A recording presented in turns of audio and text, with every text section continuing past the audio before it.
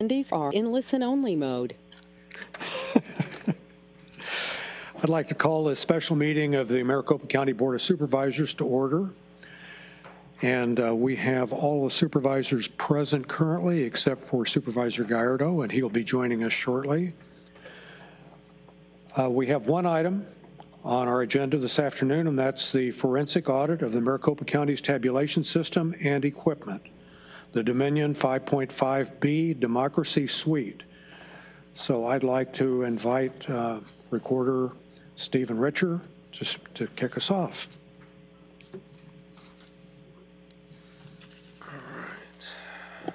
Does that work okay? Oh, that does work, yeah. All right, if super, like that? Oh.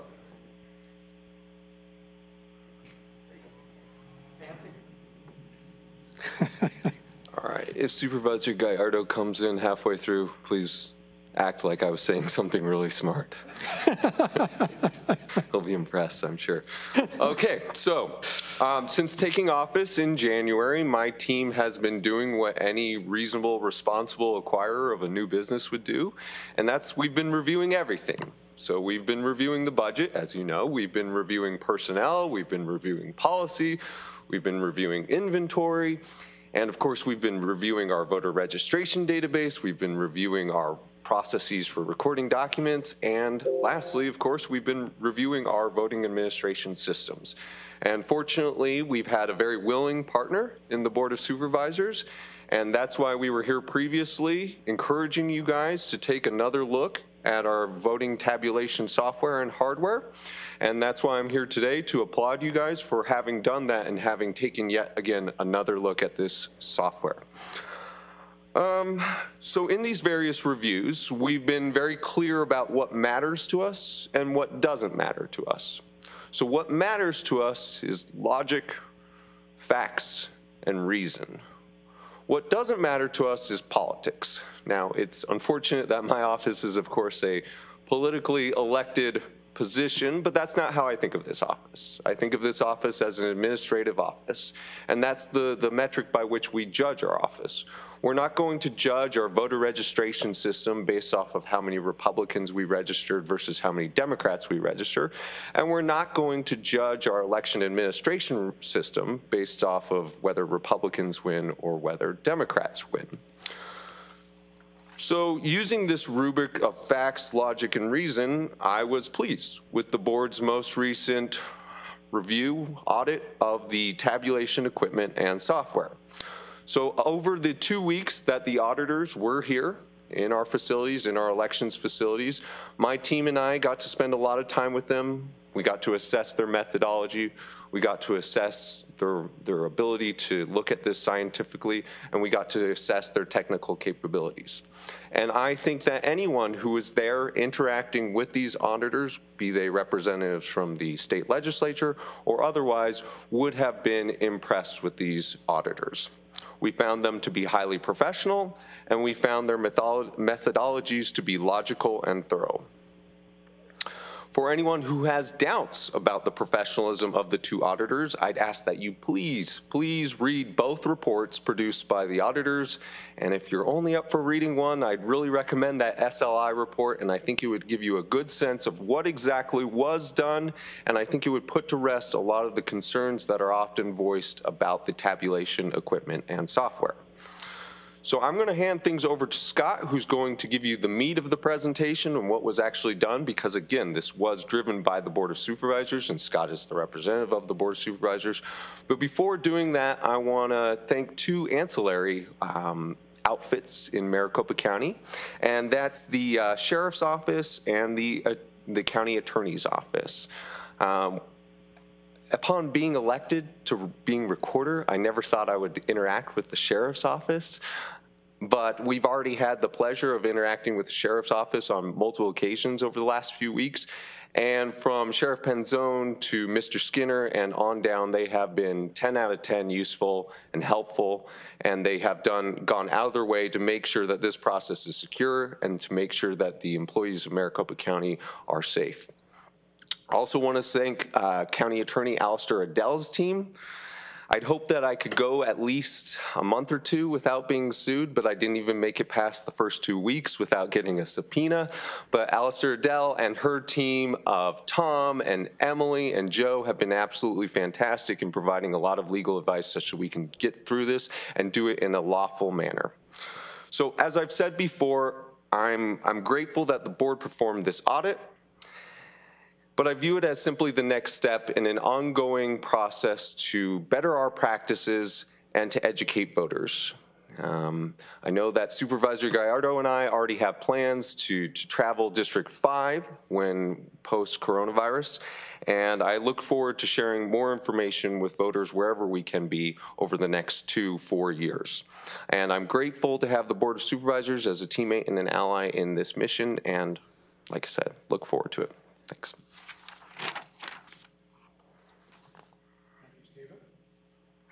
Thank you, Stephen. Scott Jarrett.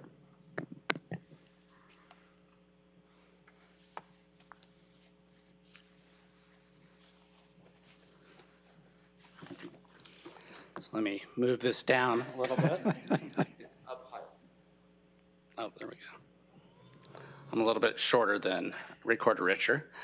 So, good afternoon, Mr. Chairman, members of the board. I appreciate your time this afternoon and the opportunity to be able to discuss and provide you an update on the forensic audits of the Maricopa County tabulation system and the Democracy Suite uh, 5.5B that you requested and approved at the January 27th board meeting.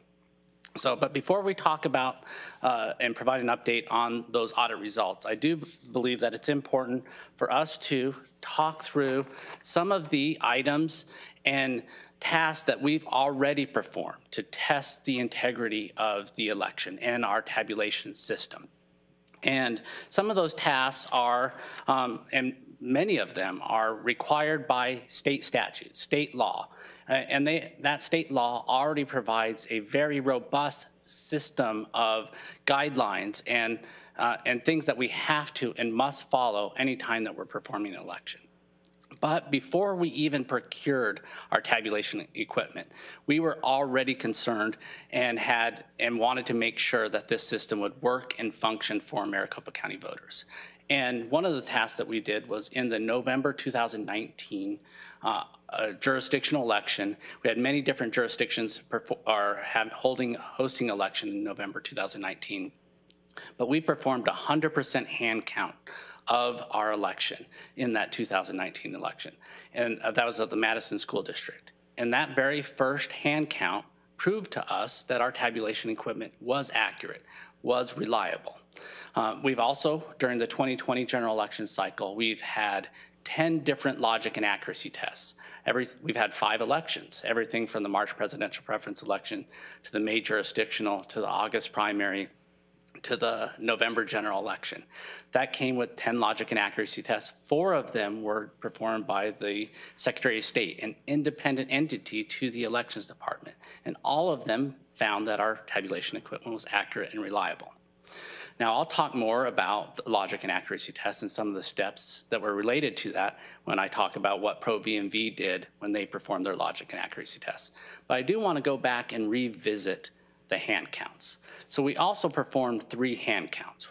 Uh, and I say we, but really that's an independent party performed them. And there's been a lot of comments out there asking for an audit, an audit of the ballots. And that audit of the ballots has already occurred. And it occurs based on what's required of state statute. So in those three elections, the March presidential preference election, the August primary, the November general election, the political parties performed hand counts of those actual ballots. Independent entities, these are appointees from the political parties. Now, I do want to go into a little bit more detail about these specific hand counts. And details are important because I've been asked, I know my counterpart, Ray Valenzuela, co-director of the Elections Department, has been asked, well, how can you have confidence? Why are you confident in these election results? And it's because of the details. We know those details. But when we talk about a hand count, that's a conceptual term, and sometimes voters or candidates or state legislators may, legislators may not understand what is that hand count. And I want to go all the way back to four weeks before any election. There is a logic and accuracy test performed by the Secretary of State's office. At that point in time, we seal our precinct-based tabulators with tamper-evident seals. We then take those and scan those seals into a tracking system that produces a precinct ballot report. So when those tabulators go out to every single voting location for the general election, we used the vote center model. There was a precinct ballot report that showed exactly what seals were on every single precinct-based tabulator. We also then have bipartisan representation in every single vote center. So these are our poll workers. We have Republicans, Democrats, Libertarians, Independents working at these vote centers. Before they start election day, and that's the only day we tabulate votes in a vote center, is on election day, they do a zero report of that tabulator. So they also compare that precinct-based tabulator, those seals, they write down, they confirm that there are zero votes tabulated on each piece of our voting equipment. For this past election, we had two tabulators at every location. So they log these, they sign off. Members of different parties sign off that there were no votes on those tabulators beforehand. Then throughout the election day, voters take those ballots, they insert them into a tabulator, and that tabulator then starts to tabulate, store all those results. At the end of the day, our, our poll workers close the, close the polls on that tabulator. At that point in time, they log how many votes were cast. There's a receipt that gets generated of every single contest and how that tabulator calculated those results. So those poll workers take that receipt, they take all those ballots, they put them in a canvas bag, they put that receipt in the canvas bag, they seal that canvas bag with a tamper evident seal. They log that seal on that precinct ballot report. Those canvas bags, along with the memory cards that we use to upload results, come back to the elections department and are immediately secured. The very next day, the parties themselves come in and they select a random sample of all those ballots and those canvas bags that will be included in the hand count. Again, this is not election department employees that are performing this. This is the political parties. Those bags are then go, we go and get those bags where they're locked in a cage, and the political parties observe this process, and then they're placed in our ballot tabulation center under cameras until those political parties start the hand count on the following Saturday. So this happens on the Wednesday after the election. That following Saturday, the hand count starts. The political parties there are then present when we first open up those ballots, those original ballots that were voted at a voting location. They break the seal, they take note of the seal that was logged on that precinct ballot report, and then that's when we start the hand counting of those ballots. So that represented 7% of all the ballots that were in the general election, the ones that were voted and tabulated at the, at the precinct. The next portion is the 90, or maybe 8%. Um, Next portion was 92% of the ballots that were tabulated all came, were the early ballots that came through our central count tabulation system. So when those ballots are selected, so they are processed in our early voting, by our early voting processing boards. They are, those are Republicans and Democrats and independents and libertarians, members of different parties processing those, making sure, separating those envelopes from the ballots. They're creating logs. So there's been rumors out there, well, how would there be additional ballots introduced into the system? Well, they would have to go through those bipartisan boards that are separating those ballots from the envelope. They're creating logs, and they're signing off on those logs, how many ballots they transmit to our vote center, our tabulation center. Our tabulators, and they will not count ballots unless they have those logs. So there's no opportunity for erroneous or additional ballots to be introduced into that process. And we separate them into batches of 200. So as we're tabulating, this is all done under the, the watchful eye of the political parties, observers, not our employees. And they will select which ballots to include in the hand count audit. And they will just randomly come up to a tabulator and say, I want those ballots to be included and available for selection. When that happens, we immediately take those ballots, we put them in a box, we run the results reports, we put that, that in an envelope, we seal that, and then those are available for that Wednesday night selection to be selected by the parties. And then the same process on that Saturday when that hand count begins, that's when we open those results up and we open those ballots, and then those parties do a blind count. They don't know those results. They're counting, hand counting what those results were, and they compare those results. So that is the hand count process. It's very thorough, and those ballots have already been audited as required by state statute. Other things that we've done is when we first procured our, our tabulation equipment, we ensured that it was going to be certified at the federal level and the state level. So that went through a very rigorous set of testing, and I'll describe some of that on a future slide.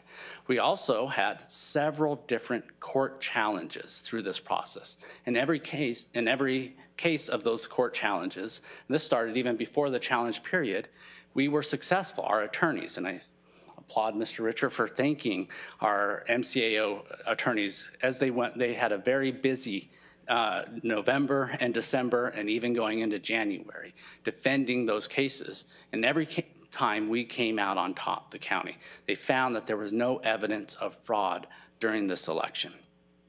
We also had, as I've described, political parties involved. But this is an election that we had more observers throughout the entire process, right? We had observers at the voting locations. As we are transmitting ballots or transferring ballots from early voting locations back to the elections department, we had the political parties following our couriers. All of those steps there was a political party representative observing that process. They're in our signature verification rooms and in our early ballot processing rooms. So very thorough. But we've also implemented significant controls ourselves over this process. Everything from having 24/7 live video feed available on our website so the public can view what's happening in our tabulation center. From using red pens, the only thing that we're allowed in our processing, in our tabulation center. The red pens, the reason why we use them is our tabulators won't re- read red ink. So there couldn't have been extraneous marks made on those ballot or on those ballots when they're in the tabulation center or during processing. So all of these different steps that have been taken up to, to the point of performing audits. And those audits are above and beyond anything that is required of statute.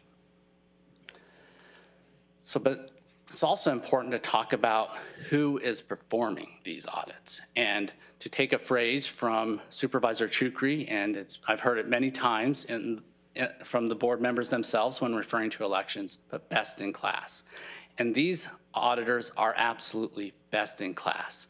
So they're, and when we were selecting and identifying who should be performing these audits, we wanted to have people that were, not only had the skill set, um, but the knowledge to be able to identify vulnerabilities in our system.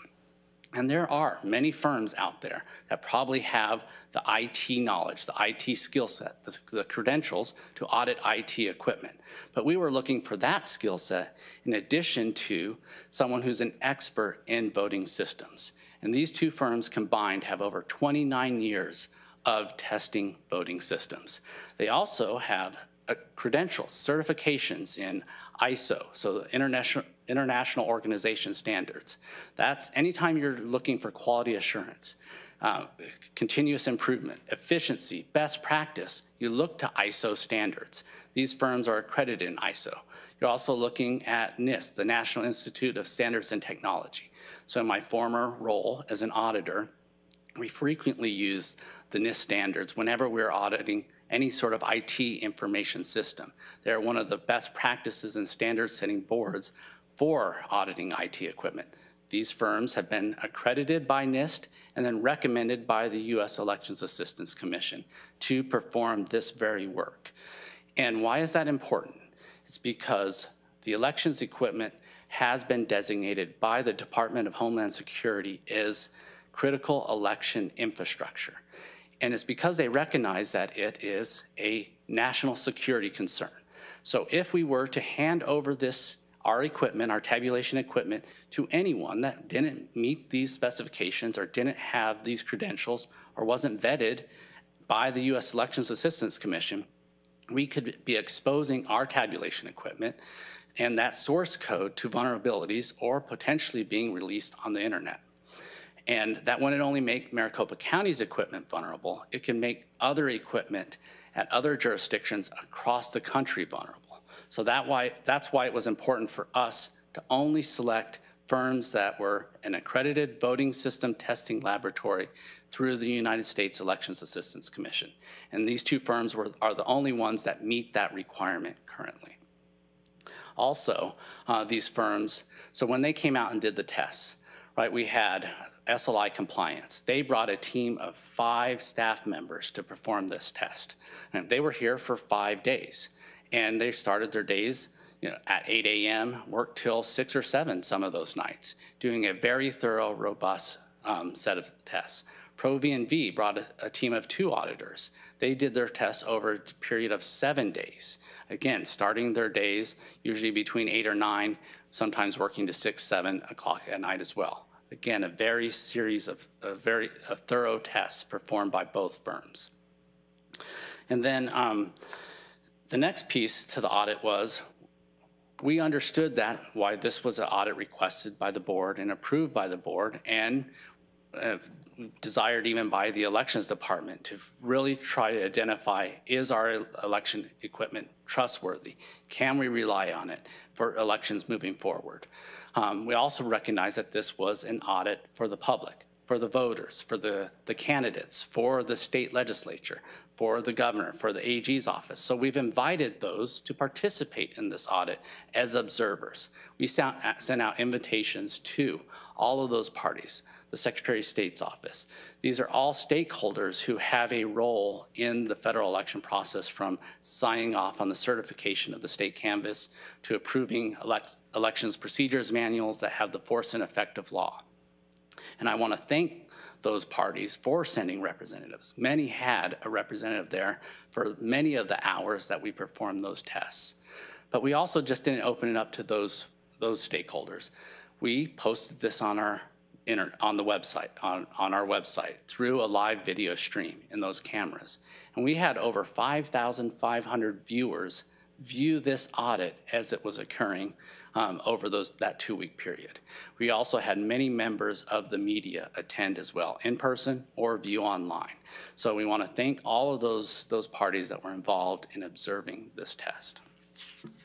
Mr. Chairman, can I, can I ask a quick question? I'm sorry, I'm sure there's going to be questions at the end, but, but I had a specific question or an observation about the observers. Um, Because I know that you reached out and uh, asked people, you and Ray and the entire group.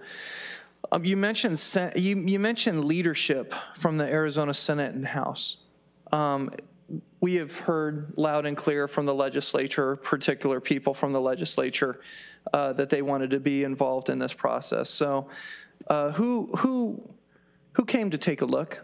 Um, Who took the time to come and, and, and meet these people and learn about these observers uh, that were observing for, for the voters? Mr. Chairman, Supervisor Hickman, spec- specifically from the legislature? Yeah, So we had, uh, so um, President Fann did send a representative to, to attend. We had Speaker Bowers come in person himself, attend, and also had a representative for most of the days attend as well. And then we also had some representatives from uh, the minority leadership in, in the House as well. Okay. I, I was just wondering, I was extremely impressed when I got, when I had the phone call that, that even during session, um, the Speaker of the House decided to come and, and see this. There was significant questions from, from both sides of the legislature, but to think that he took his time uh, to come and meet people that were uh, around this sensitive material, uh, I thought spoke very well of his leadership. So I just wanted to confirm that. Mr. Chairman, Supervisor uh, Hickman, you're correct. Uh, He was, spent several hours um, observing the process, um, d- with us discussing exactly what was being tested, getting a very thorough understanding of what these audits entailed. Okay, thank you. So this next slide is covering what did the firms audit? And this is actually a slide that was presented to the board on January 27th. And this was set the scope of the work. Now, this didn't set the methodology of what the firms chose to audit. This just, we set the questions. We wanted to confirm, was our equipment susceptible to hacking? Could vote switching occurred? Was it connected to the internet? Those are the types of questions that we asked. But then we, then we then sent those questions to these certified voting system testing laboratories and asked them to determine the methodologies that they needed to take to be able to answer those questions. So they set their own testing methodologies. They are independent of Maricopa County. And this is important because as they go through and they test against EAC certification standards, there is a possibility that when we were implementing this equipment, when we were setting it up, when we were configuring it, we could have made a mistake. We could have made an error. So it's no, no better firm or firms in the country to come in and then verify whether we potentially made a mistake. Did we add a vulnerability to the process? So it was important to have these independent firms setting their own methodologies of how they perform this test. We also have one more, so the forensic audit that the board had requested is really three parts. It's, the first two parts of this or two audits were from these uh, voting system testing laboratories. The last piece is a CPA firm that is, their work is underway right now. And they're doing a procurement review to make sure that when we uh, lease this equipment, that we followed state and county procurement code. So, and right now, we're anticipating that that, that's been awarded to BerryDunn. I think the range of cost is somewhere between 34,000 and 69,000, depending on exactly how many hours it's going to take them to, to complete that work. And we anticipate that report being issued in late March. So once that's ready, I will then transmit that to the board as well, the results of that, that review. So the first piece of the audit that both SLI and Pro V&V performed was source code tests. So, and this test was basically to determine whether the, the software and the equipment that we are, were using during the entire 2020 general election and what we will be using moving forward went through and matches what was certified when it went through the federal certification process and the state certification process. So this was done using what they call a SHA hash code. So a SHA hash code, and the best way to sort of describe what this is, and there were a thousand, more than a thousand of these codes. So every piece of this, this system, whether it's the adjudication stations, they have so many different hash codes based on the different programs. Um, whether it's the servers, the, the software that's installed on them or stored on them has their own set of SHA hash codes. But the best way to describe this is if you envision a Word document and it has 300 pages of text and images in that document, if there was one single change, an added space or an added period anywhere in that Word document, the, the SHA hash code would change. So when, when this goes through federal certification, they run those SHA hash code values on every single software component of the system. And they determine what those values should be. And then you can test back against those to make sure that it is indeed the exact same system. So if there would have been any changes at any point to the source code or to the equipment, that would show through that SHA hash code test. Now, why is it important? Why did we want to test to make sure that our equipment still match what federal certification was? And it's important because it goes through a very rigorous set of testing when it goes through federal certification and state certification, making sure there are not vulnerabilities in the system. But I wanted to actually read what the voluntary vote- voting system guidelines, and there's two different volumes, hundreds of pages of what is entailed in this federal certification process, but two specific areas. One is related to security and one is related to, to accuracy of the system. And these are the standards, the guidelines that, when it goes through certification, that any voting system testing laboratory has to audit these firms to. And so when they're looking at security, they're looking at access controls, physical security measures, software security, data integrity. But this is basically, as it's stated in the volume one of the voting system testing, uh, our performance guidelines. The voting system performance guidelines, volume one of the VVSG, are intended to address a broad range of risks to the integrity of a voting system.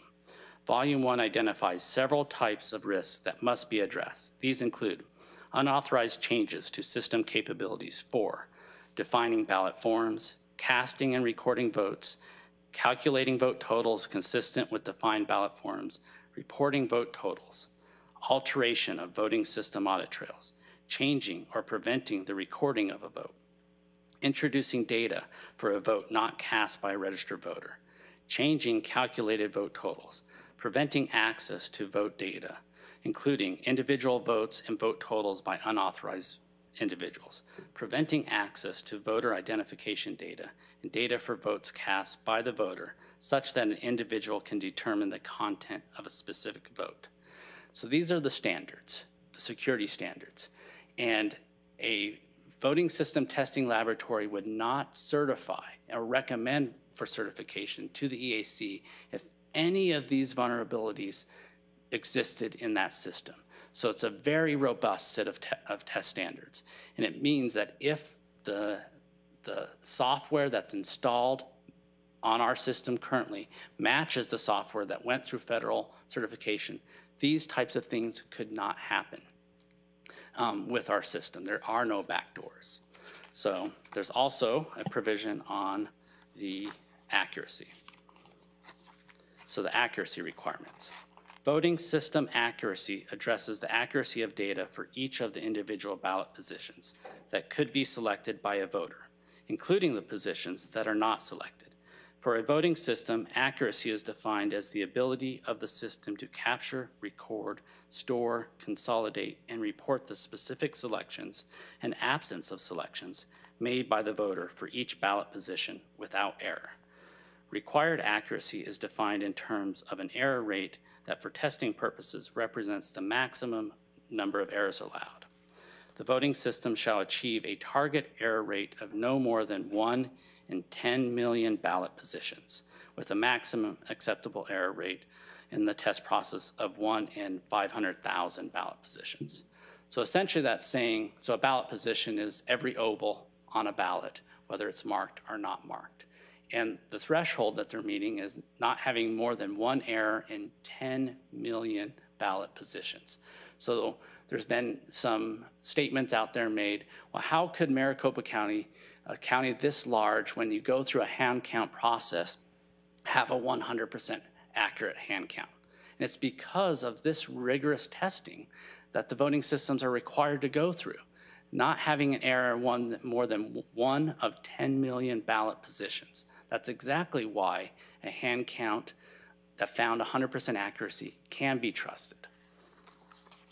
And then the last thing I'd like to read is from the actual test results that were performed when the system went through EAC certification as it related to security. So this is the report, and it says, "To evaluate the integrity of the system, Pro V&V developed specifically designed test cases in an attempt to defeat the access controls of security measures documented in the system TDP, that's the Technical Documentation Package. During the security tests, the system was inspected for various controls and measures that were in place to meet the objectives of the security standards, which included protection of critical elements of the voting system, establishing and maintaining controls to minimize errors, protection from intentional manipulation, fraud, and malicious mischief, identifying fraudulent or erroneous changes to the voting system, and protecting the secrecy of the voting process. As a result of the security testing, it was determined that the D Suite 5.5B met the requirements of the security review. So that's why it was important for us to verify that the equipment was the same and the software that was installed was the exact same as went through federal certification standards. The next piece of the test was related, so, oh, so then we asked the auditors to perform their tests, and the conclusion was both SLI and Pro V&V, so they selected a sampling of 70 total precinct-based tabulators, so 35 each. that represented 20% of the total tabulators that we used at the voting precinct. So again, that was 7% of the total ballot, or 8, 8% of the total ballots cast in this past election. They also then selected 100% of the tabulation equipment used for early voting, our central count tabulation. So all nine of our central count tabulators. They looked at both our primary server, our backup server, our four EMS, or election management system desktops, and 40% of the, uh, of the adjudication stations. So all of those went through this testing, and they verified on 100% of that, that equipment that the software that was installed matched what was certified at the federal level. The next test was malicious software and hardware. So the first test proved that our equipment would tabulate votes accurately, wasn't susceptible to being hacked or vulnerable because it matched the certification equipment. There's other rumors out there that talk about, well, maybe the equipment itself is fine, but there was some extraneous device, a foreign device installed that was able to change the results of, uh, uh, as they were tabulated on the equipment. So that's what this test was designed to do, to identify, could there be a foreign device, either hardware or software, installed on our equipment? So they took those same devices that they used for the source code tests, the 70 precinct-based tabulators, 100% of our central count tabulators, the four EMS workstations, the two servers, and then the adjudication stations.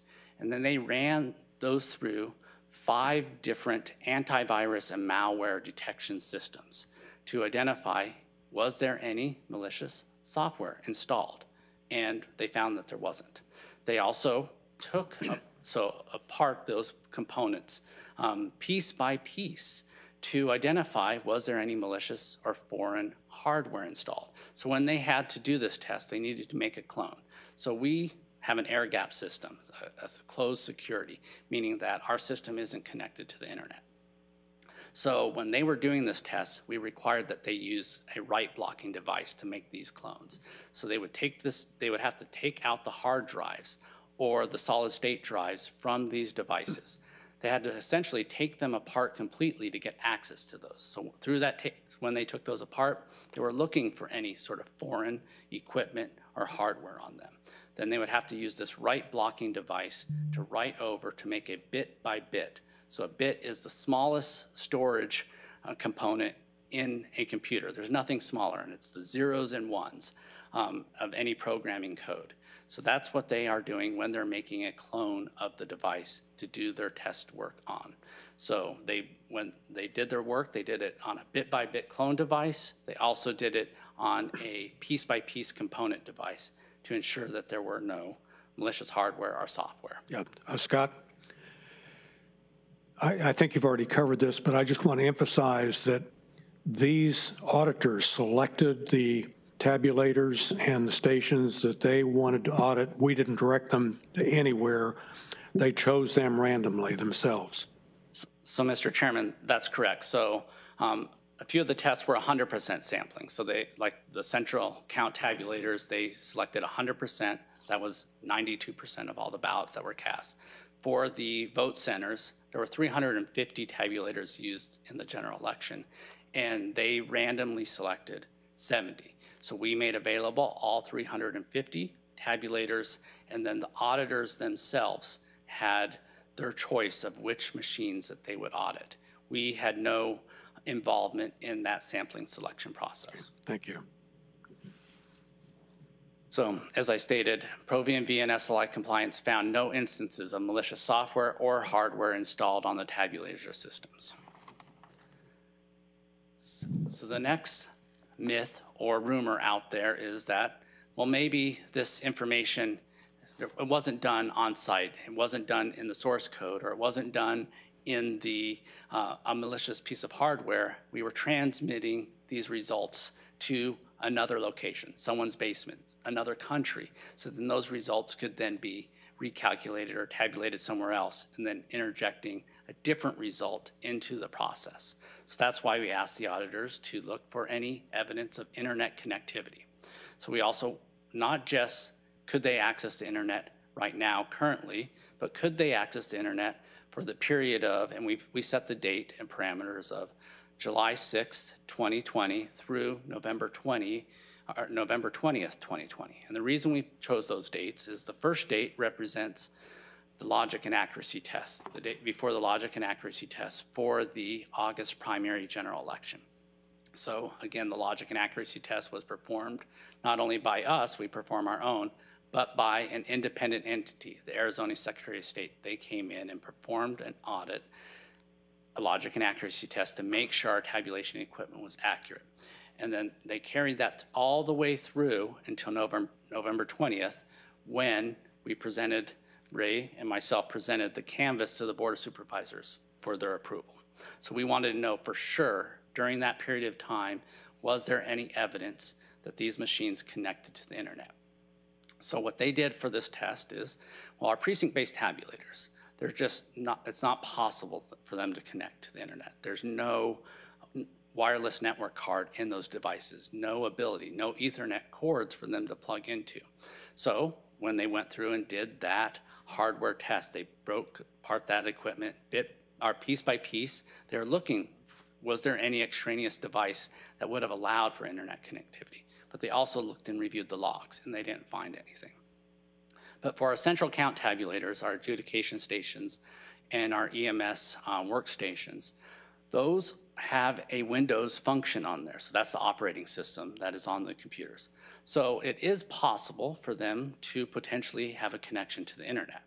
But we've configured them in a way that they can't. So there is no wireless network cards in those devices. And there is, um, and we have that air gap system, which I'll describe in a second. So when they were reviewing all of their logs. So when they went and they made clones of these devices and all that bit by bit data, every single event log, they reviewed all of those to identify was there any time, point in time that they connected to the internet. And because these are a Windows-based system, it's trying to get updates routinely. So several times a day, you'll try to get a time update or reach out to the internet for some reason. But in every single instance, they found that it failed. There's a corresponding failure. However, there was one anomaly that they found when they did this test. And it was actually on August 26th, after the uh, August primary election and before the November general election. And we were actually taking some videos, educational videos, so we can inform the public on why our tabulation is secure. And during that, we needed to adjust the brightness of one of our tabulate, tabulators, the screen that we use. So just like when, if you can picture your Windows device, you know, at work or at home, there's a search bar down in the corner left. Like if you're looking for Outlook and you type in Outlook, that will then return an open Outlook, but it also will return if there's any articles related to that. So when that happens, it's looking out on the internet.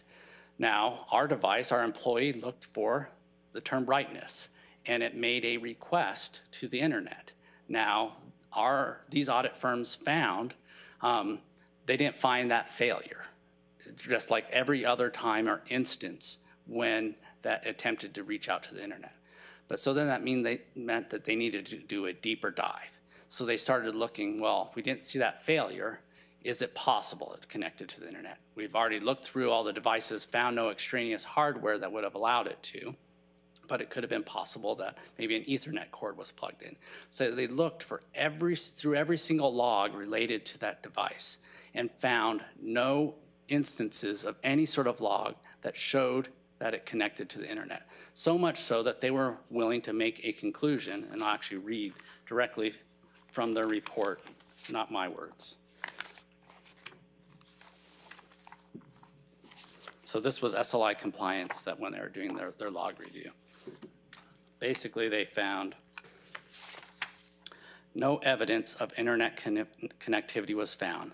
Such evidence would have been found if the system had been connected to the internet. So they went through and they were able to look at any log to see if a USB device, if an Ethernet cord was plugged in, and they could not find any evidence of that when they were doing this testing.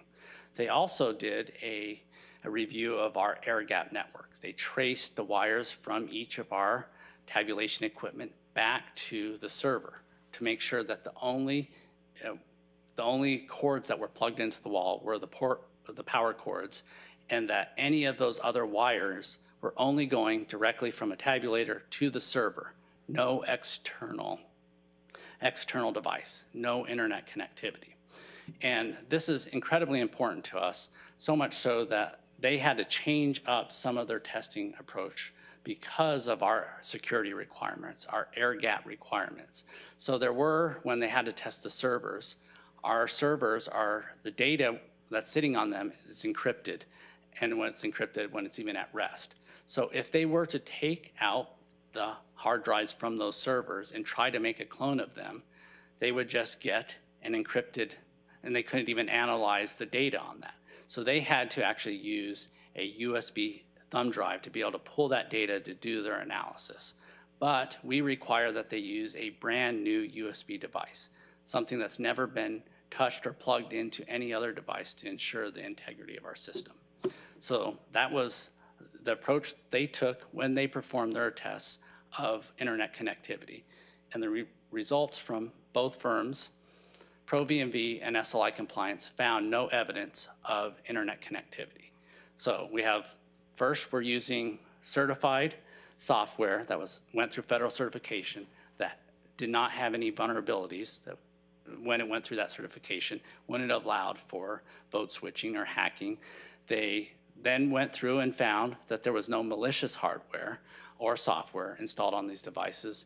And then finally, they went through and found whether, that- whether it connected to the internet, and they proved that it didn't connect to the internet at all during the, all the way from July 6th through November 20th, 2020. So the last test that we asked our, and it was Pro V&V to perform, was a logic and accuracy test.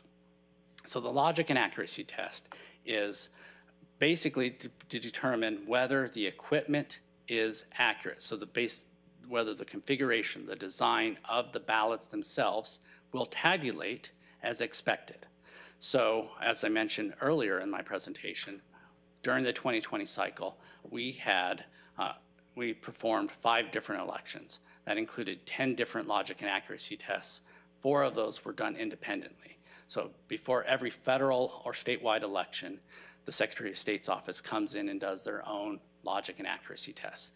Those tests are done unbeknownst, so the results of those, we don't know what those results are supposed to be. They come in, they will bring their own ballots, their own test ballots, they will run those through our tabulation equipment, and then they will com- compare the final results to what the initial results were to make sure that they're accurate. We also invite the parties to participate in those and to observe that process and to sign off on those results. So what we asked Pro V&V to do was to look at the November 2020 general election ballot, run a logic and accuracy test according to their standards. And what their standards are is to, to test over 1.5 million ballot positions. So if you remember what that is, that's every single oval, whether it was completed or not completed or filled in on the ballot. And so what they did that, they ran a our test deck of 8,000 general election ballots through our central count tabulators as well as our precinct-based tabulators. And through that testing, they did have a couple anomalies. These anomalies were related to a jam, which can happen. So if you think about at, at the voting location, they, they can even happen, but a voter brings up their ballot, they insert it into the tabulator, and then there's a period of time because someone else is voting at the voting booth and brings it up. So through our testing, we had stacks of our ballots. And our, we invited the, actually the League of Women Voters and want to thank them for them coming in on very short notice in nonpartisan group to assist us with performing this, the logic and accuracy test of our precinct-based tabulators. Well, we provided them stacks of the ballots. And they're able to then take them, insert them into the tabulation equipment. And then they do that immediately thereafter. And that does present some opportunity for there to be a jam. So those two anomalies, we had to research whether the ballot was truly counted or whether it wasn't counted. In one case, it was counted, in another case, it wasn't. For that case it wasn't, we had to back out those results, rerun those ballots through that tabulator, and then it came out accurate. So what Pro V&V found was there was no evidence of vote switching. So, and that's what this logic and accuracy test is designed to do. When you look at 1.5 million ballot positions in a ballot, and if every single one of them is tabulating accurately, then there would be no opportunity or possibility that vote switching could occur and that our tabulators were tabulating accurately. There's one thing that I want to also point out on this slide. And if you see those marks that are on the side of each ballot and the top and bottom of each ballot, those are the timing marks that are specific to each ballot. Those timing marks don't exist on any other ballot in the country because they're unique to Maricopa County's ballot. And the only way to design a ballot that would be read for a specific election is to be inside our ballot tabulation center with access to our passwords, logged into that account, designing that, those specific ballots. We have over a thousand different ballots in Maricopa County. If someone were to design another ballot in another jurisdiction using a different software program and then try to insert that ballot into our precinct-based tabulator or our central count tabulators, our tabulators wouldn't read it. It- So you have to have designed that ballot in our tabulation center with access to our, our computers. We have access restrictions on who can access. They're under 24/7 live camera feeds. And our staff are working, especially during an election, almost nearly around the clock. So there's really no opportunity for someone to create extraneous ballots or additional ballots um, and then have those inserted into the process. So with that, I'll open it up to any questions that the board may have related to forensic audit. Yes, uh, Vice Chair. Thank you, Mr. Chair. And, and Scott, thank you for a very thorough explanation of these two audits. Again, I hope that the people are having the opportunity to watch this and see that this, this was a, these were real audits uh, and provided real answers, despite what some may be suggesting out there. But, you know, a question that I had about this hacking issue, um, you know, really focusing on that. Um, my question to you is if someone were able to get in there and hack, I mean, if they're good enough to do that, then what is stopping them from going in and, you know, covering up all the tracks that they were there? Can, can you speak to that? Because it seems to me if you're good enough to get in there, you probably cover the tracks up. What's your, what's your uh, response to that? So, well, this audit, one, would have found if that happened. So, right, there's a record created of every single transaction that's performed on this through the logs as well as when they made those bit by bit clones, right? So when they go back and make those clones and they analyze, so much so that they could see for example, the brightness test, that one brightness word, or when they went and they, when we were actually compiling data for the Senate subpoenas. So when we did that, we had to generate these logs that were requested, over you know, 10 gigabytes of data that we ended up sending over to the, to the Senate. Um, they were able to see when we ran those, the specific date and time that we ran those reports, where we plugged in a USB drive to save those, where we had to save them in one instance to the desktop, where we are compiling several different reports. When we then copied those, uh, those files from the desktop to the USB drive and then deleted those specific logs, those copies of those logs. So every time there is a transaction, there's, there's evidence of that created. And so that's where those audit firms, you know, doing a forensic audit would have been able to see if anybody had made any sort of access or then tried to cover up that access. Other questions, comments from the board? Supervisor Chucri? I was going to defer to my colleague, Mr. Gallardo, first. I was going to defer to the kids' table first. This is the first time I'm not there, Clint. I gotta say, even at the kids' table, I'm still taller than you. That's true. It doesn't take much. No. Mr. Chairman, no, uh, if it's okay, I'd I'd love to just chime in real quickly.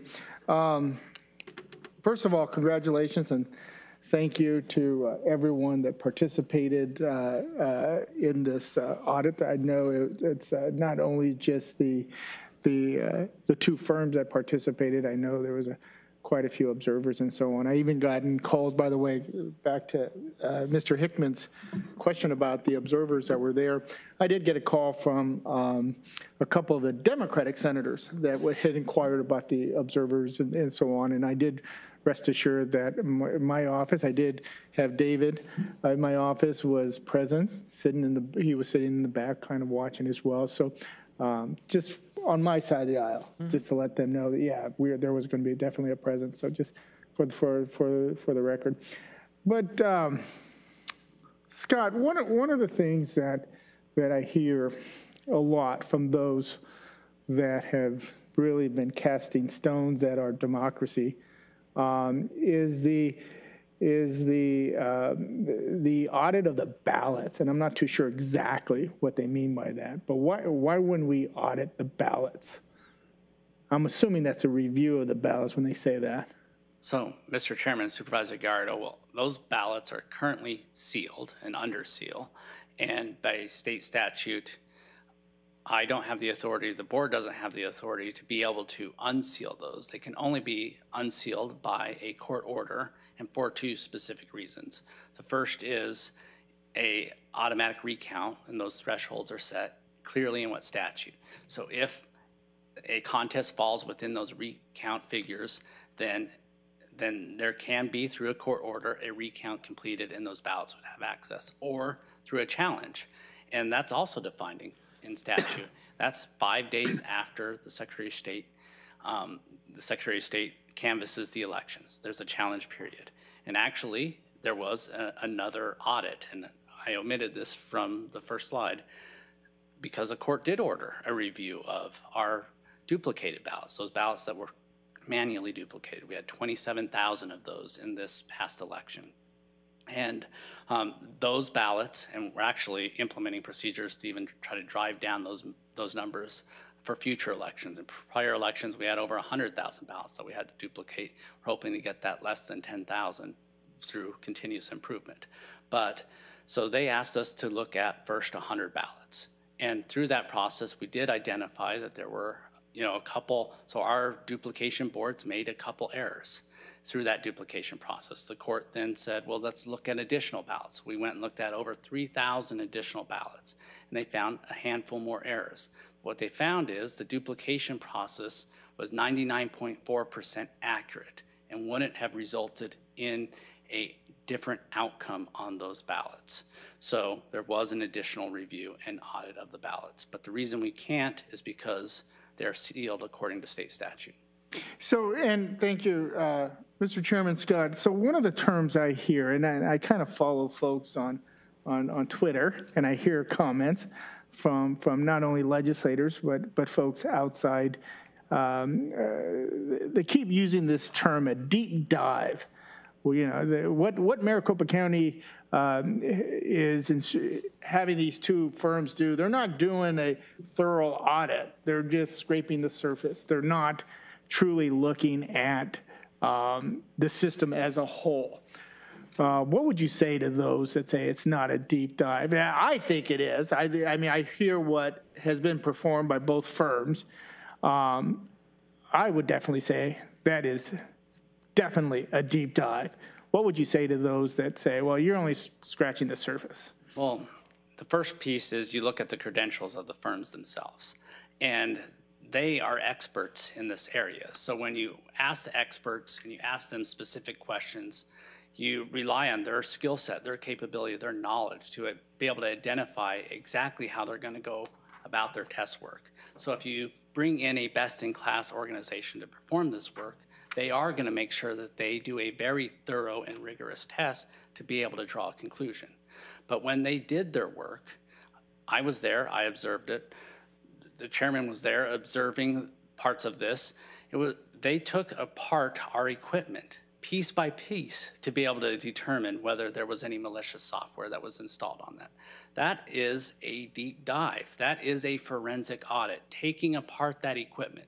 When they did it- the software tests, right? They made a bit-by-bit clone of the information and put it on another hard drive. We had four different, uh, so SLI performed four different tests using uh, the different vi- antivirus and malware tests when they performed their work. Then we had Pro V&V come in and use an entirely different malware test and antivirus system to do their work. They tested it in a dynamic state. So they took that data, they copied it using a write blocker device to another hard drive. They brought their own equipment from their lab in, in, uh, from uh, Alabama, and then installed that new cloned hard drive onto that equipment to put it in a dynamic state, so then they can run their analysis on it. It was incredibly thorough, down to the bit or down to the piece, and they compared all of that back to what was the design build, that design build that went and was certified at the U.S. Elections Assistance Commission. And, and to be all honest, Mr. Chairman, Scott, uh, I don't think they know what exactly a deep dive is. It's a talking point by many of these lawmakers. It is something they spell out. They're trying to spin this to a small group of folks that continue to want to make ruckus and not get over the fact that the election was safe, secure, and it was accurate. They're not happy that their candidate lost. I get it.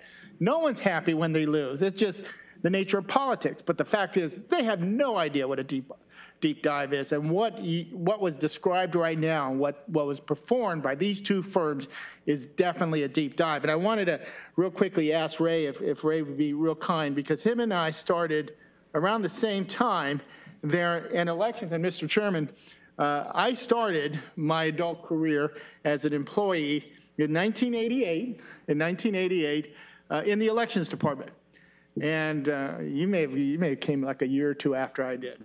But nonetheless, out of all the elections that I have seen, I have never seen such a forensic review of an election than ever before, since 1988 that I was, that I've been there. Um, What would be your, I guess, your assessment on what we have done this year? And Mr. Chairman, this is one thing that I, I, I've been holding my tongue on, because we say this a lot, that we should be following what is, what the statutes and what legislatures have directed us to do. We follow, we don't go above and beyond. I hear this unfortunately on certain things where I think we should, but nonetheless, the board decides this is what we're going to do. Let it be elections or let it be another area of county business.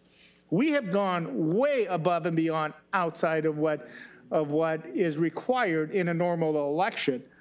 How would you compare what we have done now in any other election? Chairman, Supervisor Gallardo, and I concur that we're old. We age gracefully. Yes, but uh, uh, in my three decades of being in elections with specifically Maricopa County, this is the most extensive audit that we have done ever.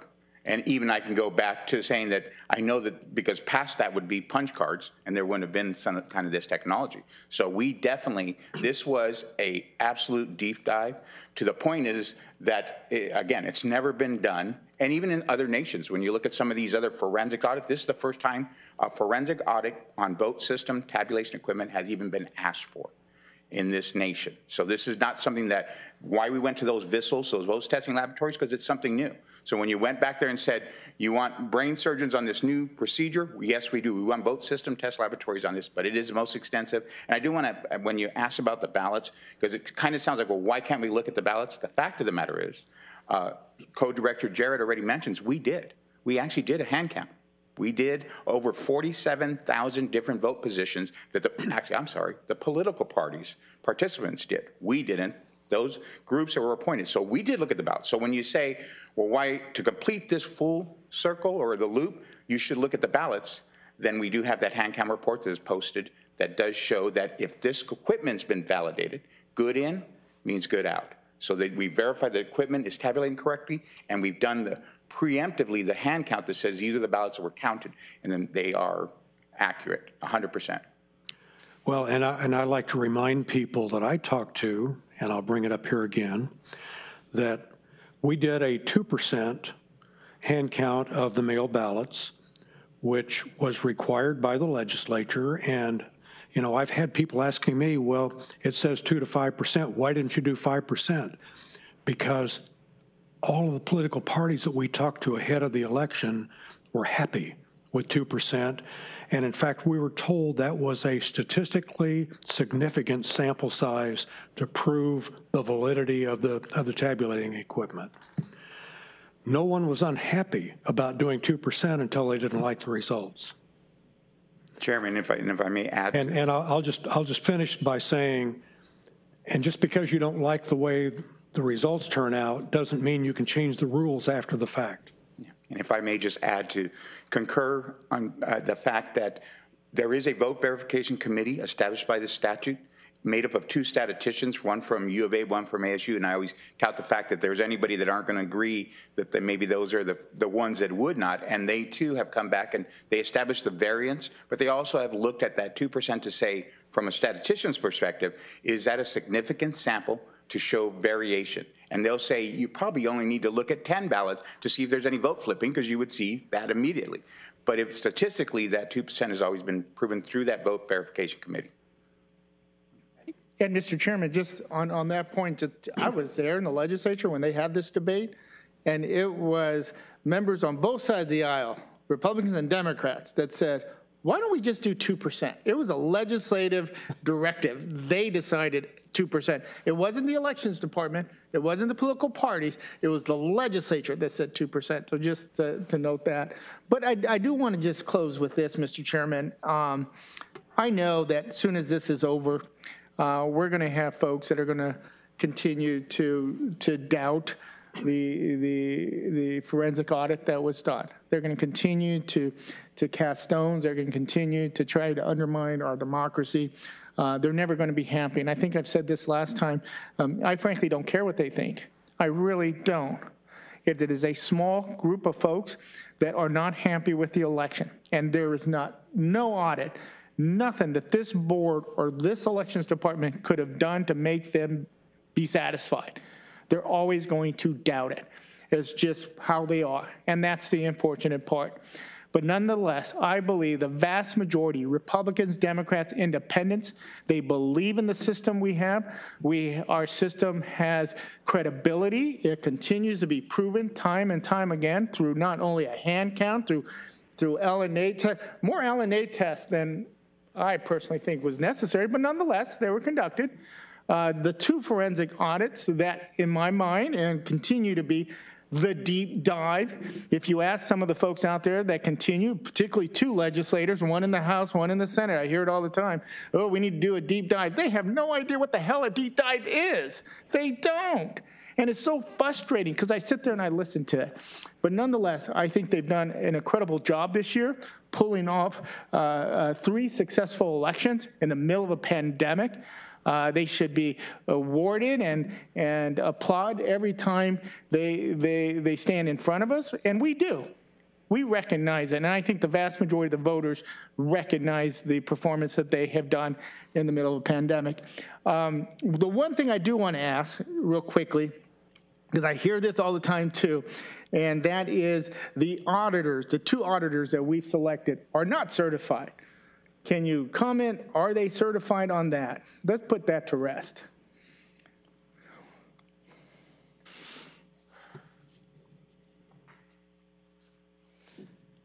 So, Mr. Chairman, Supervisor Gallardo, so the firms that we selected to come in are voting system testing laboratories. The- As I described in my presentation, they are best in class, and they are certified. They're certified from the U.S. Elections Assistance Commission to test and audit voting systems. And that includes uh, going into this deep dive that we just did. There's no one better to ask for them to come in and do a thorough review. We wanted someone that not only had that skill set, or the, the knowledge um, from being certified, being a, having a technical background, but also had the skill set and the knowledge of voting systems themselves. And we wanted them to be able to identify if there was a vulnerability. And there's no one better to do that than these two firms that we asked to come in. And they are certified by the U.S. Elections Assistance Commission. Now, there are, so, so right now on the, the U.S. Elections Assistance website, they have certificates, and those certificates have dates on them. Well, So the U.S. Elections uh, uh, Assistance Commission, they have appointees. They're, the commissioners are appointed by, uh, I think there's two that were appointed during uh, President Obama's term, two that were appointed by, during uh, President Trump's term. So they didn't convene to, so Pro V and V, they have a, a certificate that I think is dated or shows expired in 2017 they went through and had all their necessary audits, and they were recommended for continue certification. Well, in order for their certification to lapse, they would have needed the commission to vote and say they're no longer certified.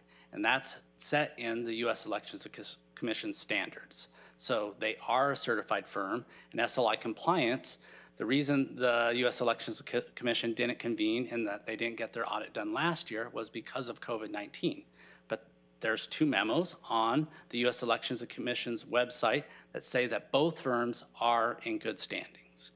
And there's one other thing that I wanted to point out. And you're, you're right, Supervisor Gardo, that some may question whether this forensic audit was a deep dive and whether it should be um, people can rely on the results. I think I heard on the radio this morning coming in, well, maybe there needs to be an audit of the audit.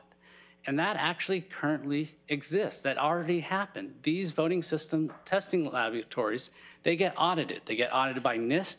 They get audited by the U.S. Elections Assistance Commission every other year. So that audit has already been completed as well. So we've had not only these two forensic audits, two different firms, those auditors the, the certified voting system testing laboratories are audited themselves. Supervisor Chucri, you've been very patient. No. Uh, uh, Just a, a few things. I want to, I do want to, without uh, joking aside with Mr. Gardo, piggyback on a question he had, because I think it's, it's warranted. There was, uh, so we're talking about myths, we're talking about uh, people uh, being entitled to their own opinions. I think it was JFK that said you could have your own opinions, but not your own set of facts. And that's abundantly clear here. That's what uh, our new recorder, Richer, has been doing uh, since taking office. And the question is this, uh, Scott, it, there was this, this notion that the auditors selected actually hired Dominion employees. I have a guess as to what that answer is, but I'd like to hear it from you. So, Mr. Chairman, Supervisor Gardo, so both firms have stated on the record and attested that they have not hired Dominion employees. And actually, through the U.S. Elections Assistance Commission, they've thought of this. So they set standards for these voting system testing laboratories. And they are not allowed to hire former employees from any vote tabulation systems such as Dominion. Or if they do, then they have to set safety protocols in place. And then those staff members are not allowed to then do any work related to the system that they designed. So there are standards in place for if they were to hire. But both of these firms have attested that there are no Dominion employees on their staff. Perfect. Uh, I think if we, if we take a few steps back and we look, look at the evolution of elections, uh, people who no longer sit on this dais recognized years ago that the Maricopa County construct of way back when, maybe the 1950s or so, uh, wasn't, when we were, had a population of 300,000, uh, is not really the, the ideal situation nor the responsible construct for Maricopa County of today with well over 4 million people. And I concur with that. And, and we worked with Mr. Valenzuela, the prior recorder. You, you were created out of this, uh, position-wise, not by birth. Uh, but uh, yeah, maybe both, actually. Uh, but but um, so, so I want the public to make sure they understand that because if we were trying to pull off an election that was not just, that was not 100% above board. Why would we have done these things over the past three to four years? We wouldn't have, plain and simple. Uh, and so transparency is something that I campaigned on back in 2012. I think that's what we're accomplishing with these audits. And, and to Mr. Gardo's and other comments, that people will cast aspersions and stones, so be it, they can. But let's go back to that fundamental premise of having your own opinion, it's not your own set of facts. So Scott, along those same lines, um, you talked about the canvas bag and the security thereof and what was going into that. And it's my understanding that we have sheriff deputies following those bags back to here. You didn't say that, but it's my understanding that that's the case, correct? Mr. Chairman, Supervisor Chucri, that is correct. So when they're coming back from those vote centers, we have members of both parties accompany those bags to a receiving site. And we set up, and the reason we set up those receiving sites is we don't want our poll workers, especially in the outlying areas, after a very long day of working the polls, to have to drive those, those results all the way back downtown to the Maricopa County Elections and Tabulation Center. So we set up these receiving sites. We have sheriff's deputies, as well as two members of each party, plus our truck drivers, at each of these receiving sites. And they're going through a a thorough checklist and accounting of making sure that every piece of um, equipment that's supposed to come back, the paperwork that's supposed to come back, the ballots that are coming back are returned. They're returned with the appropriate seals and security measures. And then when those, those trucks come back from that receiving site, there was one MCSO sheriff's deputy that was there at the receiving site, and then we had a second accompany. So there was two patrol cars that accompanied these trucks all the way back to the Maricopa County Tabulation Center. And then once they received, they, they were here, we had political parties observing the return process, and we're in our tabulation center that whole entire night as we are uploading results. Great. Scott, are you aware the manufacturer or the equipment we had uh, prior to this Dominion equipment? We had, and Ray, you can nod, I think for 20 years or so, uh, a substantial amount of time. Do you know who the manufacturer of that equipment is or was?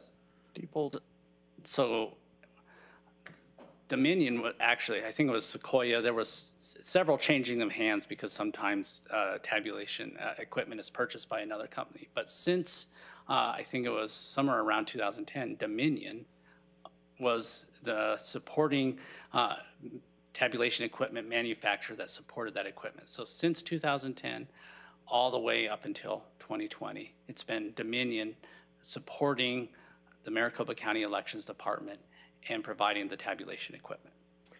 So the old adage about duct tape on equipment was very apropos for our former equipment. And we can recall that uh, those election results took weeks, uh, embarrassingly so, uh, to come up. I had colleagues in other states saying, what's taking so long, primarily with the 2018 election. So there's a nexus between the equipment that was formerly used, that was very draconian for Maricopa County of, of 2020, and really 2018, 2016, we can argue with our population. And yet, that equipment was supported by Dominion, which is being called into question today. Yet, in 2018, 2016, 2020, uh, 2014, every two years, we didn't have the kind of conjecture or concerns. I think that's important to note, Mr. Chairman, for the record. How many producers of tabulation equipment in the United States are there? Do we know that? Five. Mr. Chairman, uh, Supervisor Chucri, there's currently five uh, producers of tabulation equipment. Okay. Mr. Chairman, in closing, I would just say, and, and Scott, I would have one, one last question for you, and that is that um, it's about progress, not perfection. And lessons learned, we do know, uh, I think volunteers, there were two memory cards at one point that were left behind. I, I mean, I think there's been some lessons learned. I think that we quickly did that. But one thing that uh, I think the viewing public and our residents and voters of Maricopa County have to understand is we rely on volunteers during these elections. Their fellow citizens, their neighbors, their cousins, their family members, their brothers, sisters, all of that. Um, And as long as we do that, because we have to, uh, we're going to continue to be working toward being best in class to continue to, to do that. So in the business world, right, if, if you're not selling more or achieving better than 3% every year, you're failing because the inflation rate is 3%. So as we move forward, I don't want to have an abundance of, of overconfidence that because we were so thorough with these audits and this equipment this year, that all of a sudden in 2022, we don't have a care in the world. So I'm not asking you this, Scott or Ray and Mr. Richer and others. I would just say as we move forward, uh, let's make sure we understand the lessons learned. Let's make sure that we understand that this isn't the far right or the far left that has concerns about what occurred. Uh, Some average Arizonans do too, that are still just a part of the political process only by voting, not because of being an activist. Now, I think that's low, to Mr. Garro's point. I think a lot of people were dissatisfied with the outcome, which is a different situation. But, but the important thing to, to walk away with is that we listened. We listened to our residents. Uh, We had these audits. Um, We're going to work with the state senate um, the best we can, and most importantly, I think, through the legal system, to answer the last outstanding question, Mr. Chairman, and that is uh, how these ballots can be accessed or if they can be accessed. Uh, And the court's going to determine that. It's not going to be us, it's not going to be subpoenas, it's not going to be getting arrested, it's going to be that. So I thank all of you, uh, including you, Mr. Richer, for, uh, as we say, jump in, the water's freezing. Um, But for you to come in in the way you have and really just jumped, uh, just head first into it, Ray, you and your team, and of course, Mr. Jarrett, uh, you've never said no. Uh, You've never tried to shove off this board with the questions we've asked uh, or the inquiries we've had, especially with this audit. You said, bring it on, let's do it, let's make sure we put this to bed. So I thank you for that. Thank you, Mr. Chairman. Yes, thank you, Mr. Chairman, and, and uh, as I've told Stephen before, welcome to Thunderdome, because that's what you've uh, acquired uh, with this job. I, you know, over this, over this last year, uh, I'll refer again in my chairman's address, I talked about elections as my preeminent um, uh, action I was going to try to do. This county needed to run uh, uh, three elections in a one-year time period. And in my chairman's address, not once did I say, uh, in last January, not once did I say pandemic or COVID-19. And our group, our county, has um, acted wonderfully in this, our public health, but not least of which is our entire elections department, where the world was evolving by the hour. Uh, You guys did a great job. And I will tell, Mr. Chucri said about those cards, you know, I I brought it up to you before, Scott. We, we used, we used these elections, the primary, the, I'm sorry, the presidential primary, uh, or preference election, the primary and the general, and we learned things. And the, can you imagine if we would have left those six digital cards behind for this general? Uh, But we learned something on that primary, and we put in new processes to make that not happen again, the best of our ability. This is all about people. Thank you for bringing that up, Steve. So many people, I worry about this and what's in the air, that how are we going to get volunteers to work these elections again? How are we going to find sites uh, with elections? Again, it is going to be next year's problem, Stephen and Scott and this board, about enticing people back to make sure that they believe in the election and they, be- they will believe that Maricopa County runs great, solid elections. And that was even said by the, the governor uh, of Arizona to the president, uh, the then President Trump. And he said that uh, prior uh, to the election, and it went south directly after the election. So, um, not by our doing, not by our doing. So, um, I will, because I live this as chairman, um, and I did have discussions with uh, House and Senate leadership all the way up till uh, the point where they subpoenaed us. And I do remember the definition that you talked about, um, Supervisor Gallardo. What is a forensic audit? Because that's what we start, I started to ask that before I appeared in front of the Judiciary Committee. So I asked it back. I'm, I don't know. What's a forensic audit to you? There was a lot of them, a lot of people that said, I don't know. I think it would look at this or that or however, but that has evolved. That, that conversation has evolved even to this point about what a forensic audit even is. But I know that when I was talking to them about a forensic audit, to me, as a businessman, I was talking about machinery, sure, processes, sure, software, sure. But I don't believe in that time frame when I was talking to them that the word ballot even came up. I don't think they said one thing about a ballot. For them, I think it was, at that point, it was a piece of paper. But now it's changed, and now ballots are a key part of a forensic audit. And we are going to let a court decide because clearly in black letter law, it said we have no option to look at those ballots. They are sealed, and if a court wants to look at, look at them, it's by court order. So we will, we had an unnecessary fight with the Senate and the Senate leadership uh, for something that clearly spoke to me in black letter law that we were not supposed to look at those. But if a judge wants them, if a judge sees evidence uh, that they want to take a look at it, if the Senate wants to bring evidence to look at those ballots, but we all believe in the sanctity and the privacy of the ballot that we each voted.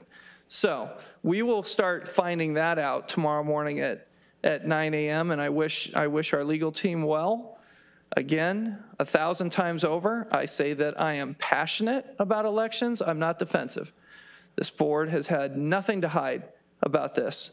All we wanted to do always say just what a wonderful job our people did through a pandemic, and it still remains true.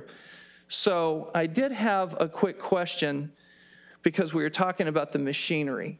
Uh, I have heard some people in the legislature have said that we wiped the machines in order to get ready for an election that is going in our district, Goodyear, Arizona.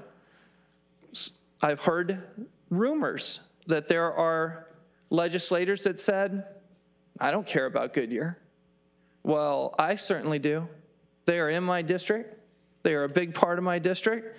And we are in the middle of an election that will determine determine the future of how Goodyear is represented, either districts or at-large positions. That's important. That's important to a mayor, that's important to those council members, and that's important to the city uh, which I lived in for up till three years ago. So let me ask you, now, how can you ensure the data from the November 2020 general election was not changed or altered during the audits and while preparing for the Goodyear elections? Mr. Chairman, Supervisor um, Hickman, the reason we can confirm that and guarantee that is because, so we have our precinct-based tabulators, those memory cards that came back to us. Those, all the data from those memory cards is currently sealed in the vault. So everything related to the November 2020 general election from the precinct-based tabulators is in the sealed vault and available if a court ordered that it to be reviewed. We also have all of our central count tabulators backed up on our servers. So there is a copy of all the data from the no November 2020 general election available and secure for the Goodyear election, we're able to create different file structures. So when those, that new data that is being going to be accumulating, those new logs, those new reports, for when we start tabulating, which we already have, we started tabulating this week after a logic and accuracy test for the Goodyear election. That's being stored in a different file structure. It's not overriding or, uh, and deleting any of the data that's available and still there from the November 2020 general election. And we can confirm that through the work that these audit firms just performed. They could see every single log that we that was created, every single file, every single um, time that we access the equipment. So much so, so when we did the November 2020 general election, we had to do a statutorily required post L&A. Well, in order to create room for that, we had to actually move some of those results over to the backup server. So from the November 2020 general election, so we had room to be able to run that post logic and accuracy, accuracy test. Well, those firms, those audit firms, when they came and did their forensic audit, they could see all of those transactions. So they're all still there, they're all still available, nothing's been overwritten. Well, Mr. Chairman, um, would like to say again, thanks, Scott. And there, what has been represented to me out in the public is there's thousands and thousands and thousands of people requesting uh, a forensic audit and how we were going to do this. Um, I think I sent messages to 35 people last night saying, hey, we're going to announce the results. We're going to be able to ask your questions, uh, your questions of, of our team about this audit. And, um, you know, I just talked to, just sent a little text to my chief of staff out there and said, how many people are watching right now? Because this room has seen a lot of information between the canvass, all of the pre and post-election uh, things over the last year. Uh, He said 70 people are watching right now. So, but what's important is all five of us, I think this is the first time all five of us have been in the same room together uh, since the canvass because of the pandemic. So what we are hearing for is, are the voters and the citizens of our individual districts that we can ask these questions so we can go out with full knowledge and tell everyone, again, just about what this audit did for our community. I want to thank um, uh, Chairman Sellers. Uh, In December, when I was chairman, uh, I flew out an audit team to prepare so we could do an audit that would more match up the timetable of expectations of the, some of the people that were asking questions, but we couldn't pull it off because it was still ongoing litigation. So we could, we couldn't do it. And what you did is decided to fly out that same team.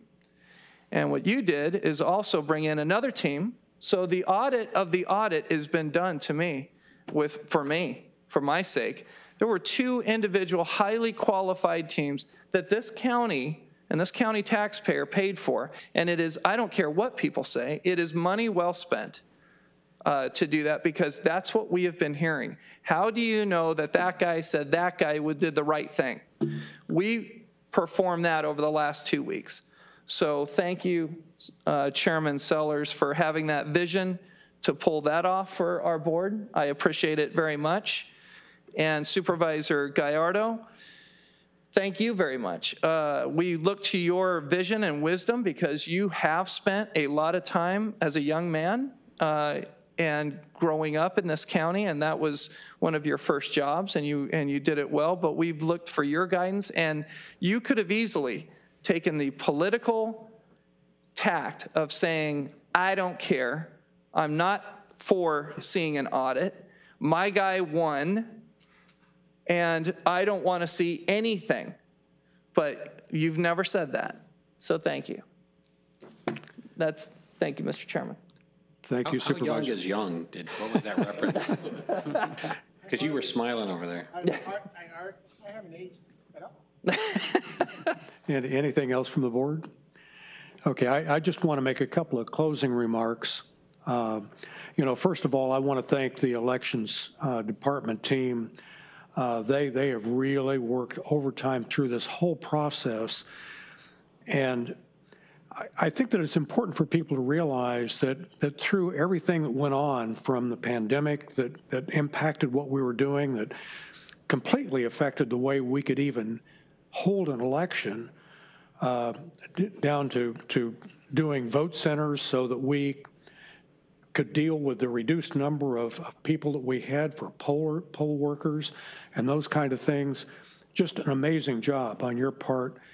And, and also, you know, this board has had a lot of really tough questions as we went through this because we really have been concerned about ensuring that we had an honest, secure, efficient election.